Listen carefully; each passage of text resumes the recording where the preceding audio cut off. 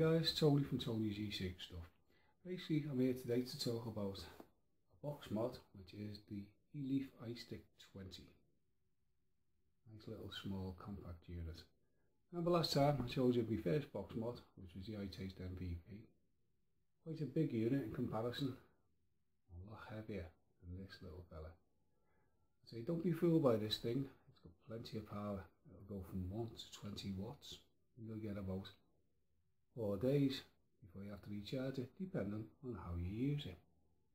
Power it on. This is the power button here, and you press it five times. Two, three, four, five. I'll put my pro tank on top. Let's just go back a minute. It's a 510 thread, which goes in. But also, this baby comes with an adapter, which screws in the top, which allows you to use your old clearomisers if you want to. I won't be doing that. I'm up to the tanks now and I love them. let's put the Pro tank in. Let's have a little tooth.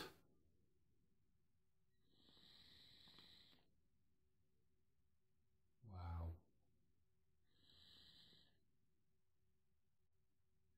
Great. So as I say, let's go back to the display. So you've got your power on, and as I say it's displayed in watts. If you want it in volts, press that three times, and it'll go to volts. This is the little buttons in the bottom increase power or decrease the power. You hold them in together and press them together, it'll lock it at the set desired power that you like to vape at. If you want to charge it, it's USB lead at the bottom, which plugs into the wall, you know how these work now, and it'll charge up. Now, when it's charging up, you can see there the little battery icon. It shows it's half full at the moment. It'll flash a little zigzag through it, yeah? Or alternatively it's switched off you'll have like a bar going up and down here. And when it's fully charged the bar stops flashing or the icon stays static. And it's charged and ready to go. Let's have another two belter absolute belter. I say lovely and small. Nice form fits in the hand. Pretty stealth mode you can't see it now except for the old pro tank light.